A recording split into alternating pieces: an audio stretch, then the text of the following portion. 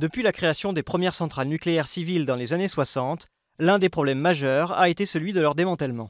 C'est une opération longue, complexe et coûteuse. La première phase est celle de la mise à l'arrêt de la centrale. Les combustibles sont déchargés, les circuits vidangés, 99,9% de la radioactivité présente est normalement éliminée. Les installations sont mises hors service, mais restent en l'état et sont placées sous surveillance pendant une certaine durée. Le démantèlement proprement dit intervient dans un deuxième temps. Les équipements et bâtiments sont nettoyés et démontés, sauf le bâtiment réacteur lui-même. Même si les parties les plus contaminées ne sont pas traitées à ce stade, ce démantèlement doit être fait avec précaution, en procédant au nettoyage, à la découpe et au traitement approprié des déchets. Le bâtiment du réacteur reste lui confiné et surveillé.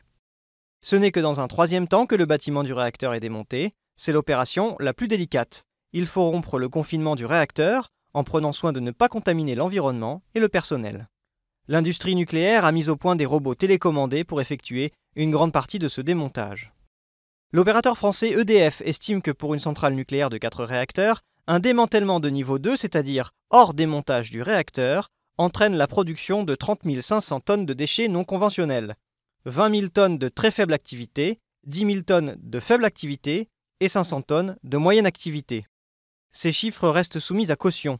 L'OCDE parle, elle, de 36 000 tonnes pour un démantèlement total. Aujourd'hui, aucune centrale nucléaire de production n'a été entièrement démantelée. La totalité de la procédure peut durer, en fonction de la stratégie adoptée, de 25 à 100 ans.